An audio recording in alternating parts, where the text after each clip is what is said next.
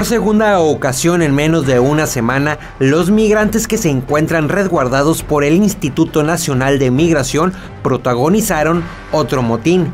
El primero el viernes pasado en las instalaciones de lo que era la antigua residencia juvenil. En esta ocasión sucedió en las oficinas federales del Puente Internacional número 2, cuando un grupo con cerca de 90 extranjeros intentaron escaparse de un cuarto donde los mantenían. Cabe señalar que la dependencia federal cuenta con celdas en sus instalaciones, las que se encuentran rebasadas por el alto número de personas que arriban a la ciudad procedentes de su país y otras que son repatriadas por la autoridad migratoria de Estados Unidos, quienes por motivo de la contingencia ya no los están encarcelando, únicamente los detienen y los deportan. Recordemos que el viernes 3 de abril, el grupo de aproximadamente 163 migrantes provocaron un incendio en las antiguas instalaciones de la residencia juvenil mixta, la cual fue adaptada como albergue ya que estas personas querían salir argumentando que ya querían retirarse a su lugar de origen,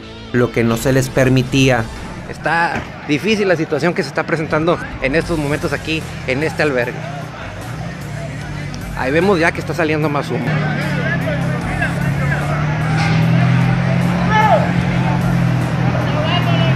Ambos hechos han dejado entrever la inoperatividad del Instituto Nacional de Migración en esta frontera, en la cual está como delegada Mayra Alejandra Ávila, quien ha puesto así en duda la incapacidad para desarrollar el cargo, porque además evade los cuestionamientos a todo esto.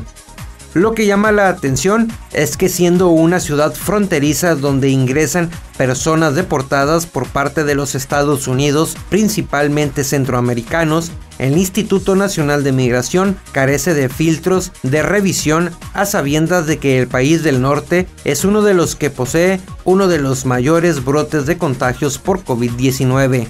Con imágenes de Ronnie Ruiz para GMN, Ricardo Bueno.